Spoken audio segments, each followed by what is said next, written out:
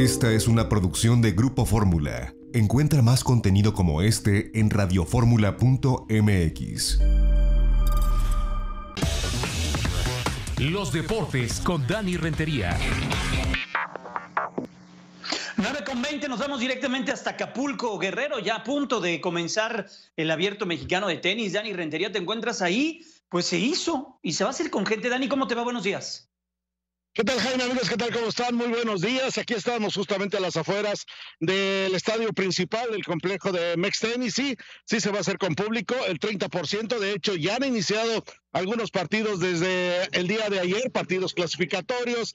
Y bueno, pues ahora mismo se están haciendo eh, las pruebas, los ensayos también con el equipo de sonido. Evidentemente todavía no hay eh, manera de ingresar. Por cierto, no hay medios de comunicación, no se les invitó a los medios de comunicación. Estuve eh, platicando con Raúl Surutuz, el director del evento, y bueno, pues ofreció una disculpa porque en esta ocasión está todo muy, pero muy restringido y para bien, por supuesto, porque eh, no hay acercamiento del público con los jugadores, no hay ese contacto que hemos visto en otras ediciones donde hay fotografía, donde hay interacción, incluso medios de comunicación no habrá en los partidos, excepto los que tienen la transmisión. Aquí a unos cuantos metros, si tú, tú lo recuerdas, conoces bien esta zona, Jaime, está un estacionamiento. En ese estacionamiento está instalado eh, un camión, un laboratorio donde se hacen las pruebas COVID. Ahora mismo ya se están realizando, veo que está llegando, están llegando algunas personas, está a escasos 50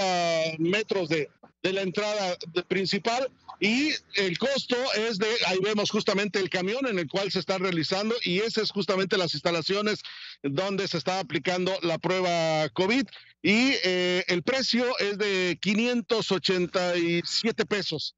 586 ah, está muy bien, es accesible y debes, para poder ingresar, además de tu boleto, por supuesto, debes traer esa prueba y con el resultado de negativo, con eh, no más de 72 horas de habértela realizado y con eso podrás ingresar.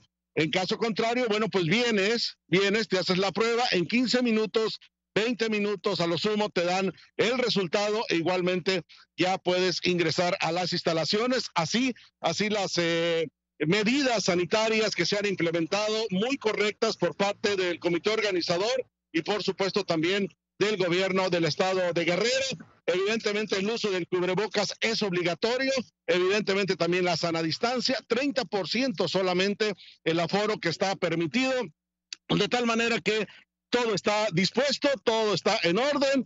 Ojalá sea un buen torneo. Desde luego, sí, con la ausencia lamentable de Rafa Nadal por lesión, no por otro motivo, por lesión, un problema que tiene en la espalda, fue operado recientemente y bueno, pues no podrá, no podrá estar, pero sí está Alexander Zverev, eh, el número siete del mundo, está Tsitsipas, el griego, también una de las eh, principales figuras, de tal manera que yo espero que sea un buen torneo de tenis, ya estaremos informándoles eh, diariamente de lo que está sucediendo, de los resultados y demás. Jaime, así que dentro de ocho días, acá estás invitado, por supuesto, ya tengo los boletos y me avisas si no, pues este, para ver qué hacemos con ellos, ¿no? Digo, este. No, claro. Eh, me, hago mi prueba y a ver si me puedo lanzar cuenta con ello, mi querido Dani. Bueno, bueno, por supuesto. Bueno, pues así las cosas en el abierto mexicano de tenis, que sea todo un éxito. De verdad que, que el público está entusiasmado, ¿cierto? Se espera que haya mucho público. Ahora mismo Acapulco está, bueno, pues sí, la verdad como en sus mejores tiempos, eh, una gran afluencia turística.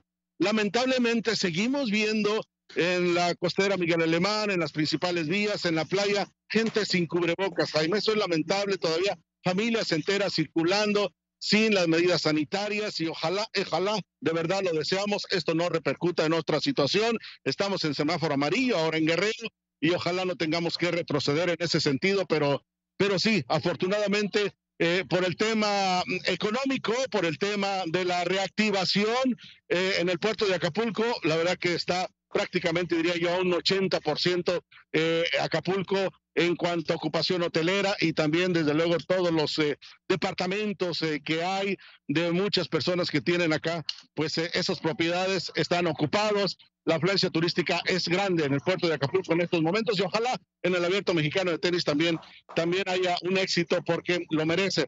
Bueno, hablando también ya de otros temas, Jaime, una triste noticia en el boxeo, la muerte de Marvin el Maravilla Hagler, uno de los cuatro fantásticos del boxeo mundial, eh, la mejor zurda, el mejor boxeador zurdo que ha dado este deporte para muchos. Y estas son imágenes del round del siglo.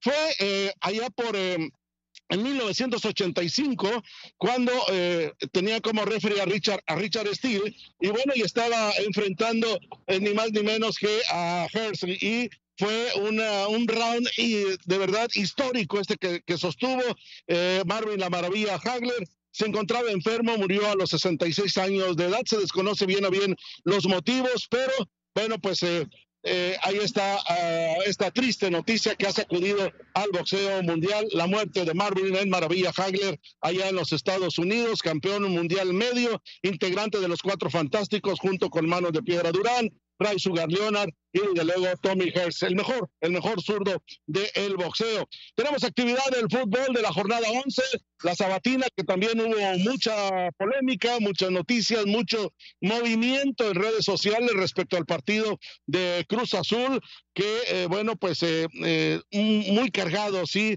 en cuanto a lo que ocurrió con el tema arbitral. Otra vez, Adonai Escobedo vuelve a hacer noticia, un arbitraje polémico el 1 por 0 de Roberto Alvarado con un centro donde aquí se ve que a, mí me da la impresión de que el balón abandona el terreno de juego.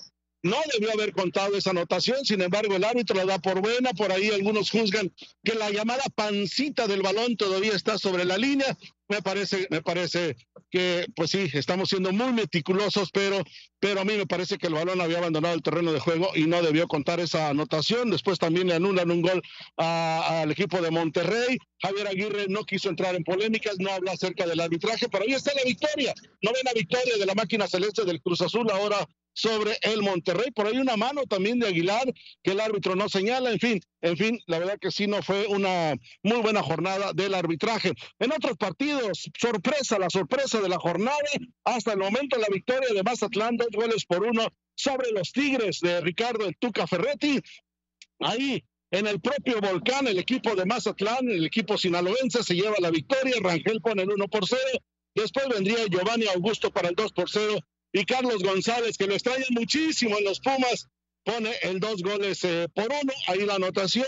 Falla André Pierre Guignac un penalti y de esa manera el equipo de los Tigres pues no logra rescatar al menos el empate. ¿Y qué pasa con el Puebla Atlas? Un partido celebrado el viernes también, victoria del equipo de Atlas, uno por cero, sorpresivo también este resultado. Rocha al 73 ponía el uno por cero para el equipo de Guadalajara, el equipo del Atlas y los Pumas los Pumas lograron rescatar el empate allá en Juárez, que tenía la imperiosa necesidad de ganar, porque sí, la cabeza de Luis Fernando Tena pendía justamente de un buen resultado, de no perder en este partido.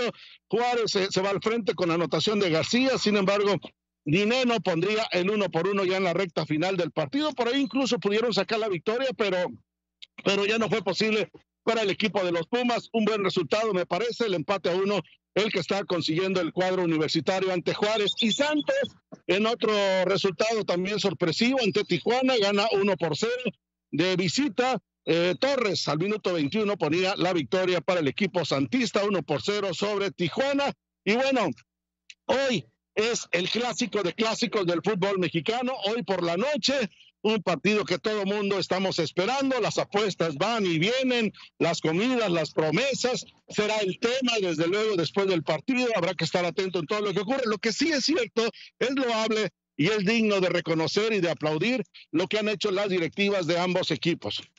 Mire usted, el perdedor de este partido eh, habrá de aportar 10 mil sesiones de rehabilitación, 10 mil sesiones de rehabilitación para quienes padecen COVID y se realizarán en 18 centros de rehabilitación Teletón en todo el país. Ahí el comunicado que emitieron ambas directivas, tanto la del Club América como el equipo de las Chivas. En todo el país se realizarán estas 10 mil rehabilitaciones para los enfermos COVID.